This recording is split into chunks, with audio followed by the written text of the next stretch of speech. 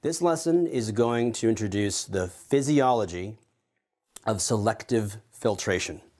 We gave you the anatomy towards the beginning of the module. We've discussed the mechanisms of filtration forces, why things do move, but we haven't talked about how or why things don't all move from the capillary into Bowman space. We're going to talk about the filtration slits first.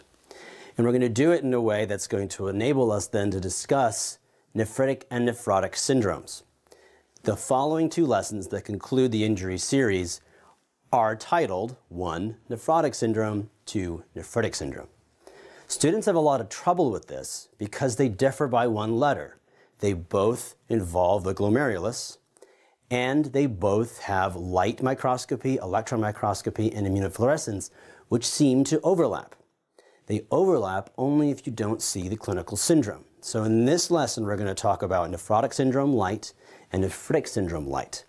I'm going to show you that they are not related in any way. They are by a kidney biopsy, they are by their name, but not in their presentation. You will not have to compare nor contrast nephritic or nephrotic syndrome. You won't have to decide which one is it. They are completely distinct. So let's talk about the barrier to filtration first. Before we do that, I'm just going to remind you of some of the stuff that you've heard me say a bunch of times and already know, but it's important for this discussion. Afferent arteriole comes in, forms peritubular capillaries. Peritubular capillaries come back together to form the efferent arteriole, which then gives rise to the capillary bed of the peritubular capillaries. High pressure system 50 millimeters of mercury ensures that the hydrostatic pressure of the capillary always favors filtration. Filtration, the definition, is moving things from the capillary to Bowman space. Now we know what normally gets filtered. If we need it, we need to resorb it. Water gets filtered, moves from the capillary lumen into Bowman space, but then is resorbed. Ions and other small molecules also get filtered and get resorbed. Amino acids, glucose. What does not normally get filtered is protein. Protein does not filter, and these are large proteins, not individual amino acids. And if you have a good GFR, there's good flow through this system. And the macula densa assesses this system. If there's good flow, it pushes the Katrina switch up to off. If there's not good flow through the system, it falls to on, which makes renin. Favors filtration. And this is sort of the wrong way people teach this stuff. The glomerular capillary is designed to filter. Most capillaries are designed to filter and absorb. Some capillaries are kept super tight so that nothing can get through, like the blood-brain barrier. The glomerular capillary is constructed so that it is enabled to push water, ions, and small molecules out of the capillary and into Bowman's space. It is not supposed to restrict anything. This arrangement exists between a, an endothelial cell. An endothelial cell has large fenestrations in it. Most endothelial cells do not have large fenestrations in them. Those endothelial cells restrict everything. These fenestrations are about 75 nanometers. Endothelial cells normally restrict the movement of water, ions, and small molecules. The endothelial cells of the glomerular capillary have an additional appendage called a fenestration that permits things from the lumen to reach the basement membrane. The basement membrane is what the endothelial cell sits on. It's a loose collagenous matrix it doesn't filter anything.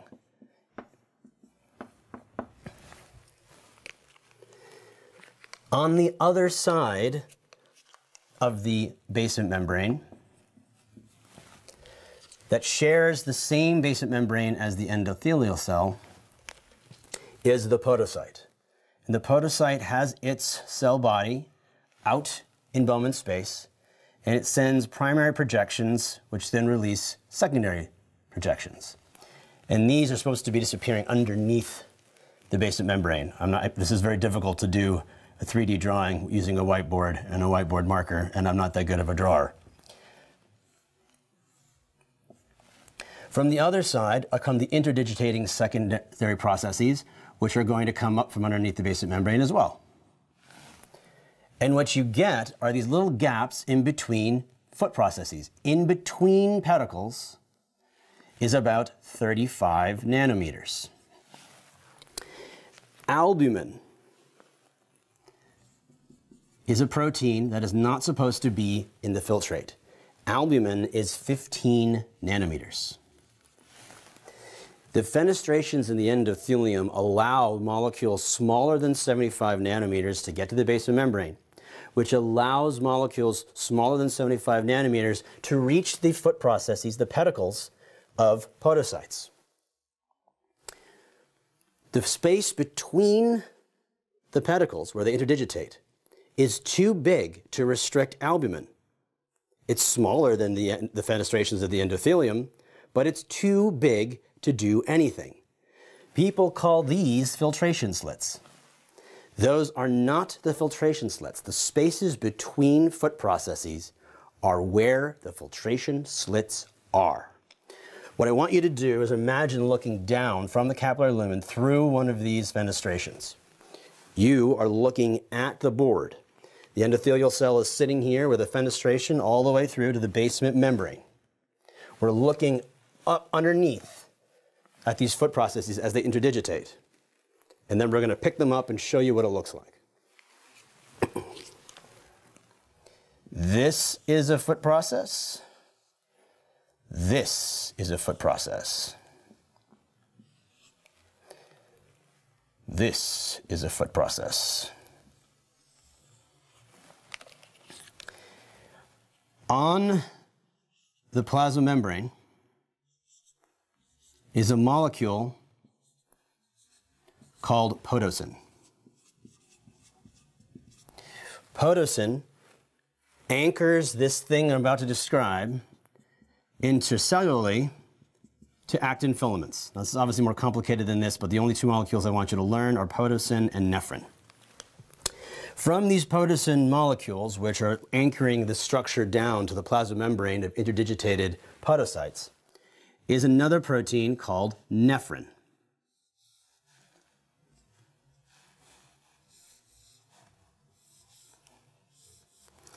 These nephrin bridges do all of the selective filtration. And just to give you the idea here, you're going to have nephrin bridges between foot processes. If you look at this on two dimensions, like on an electron microscopy, what you're going to see is that the podocyte is going to have regular interdigitations with the basement membrane. The space between foot processes is where the nephrin bridges are.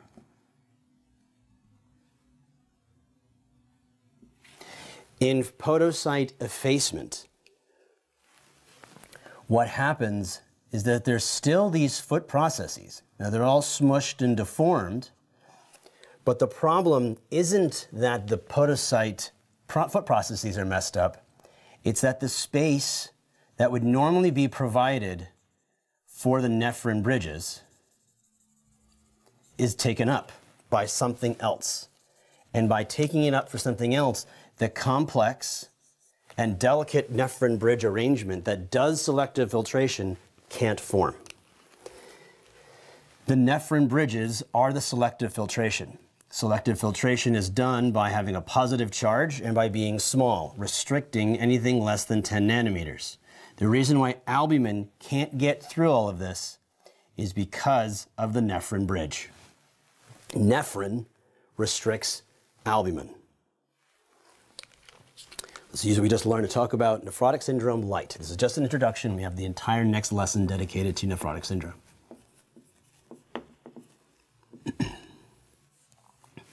In nephrotic syndrome, which is synonymous with podocyte effacement on electron microscopy,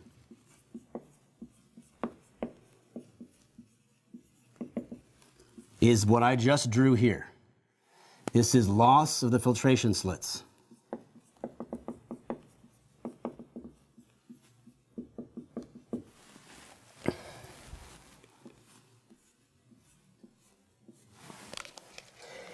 Normally, water filtered and reabsorbed.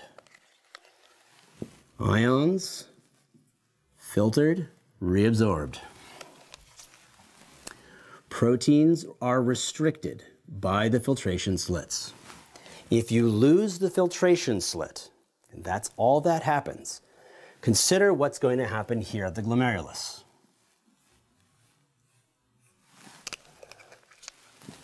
Water is going to be filtered. Ions are going to be filtered. They always are. Then the things that was previously restricted is now unrestricted.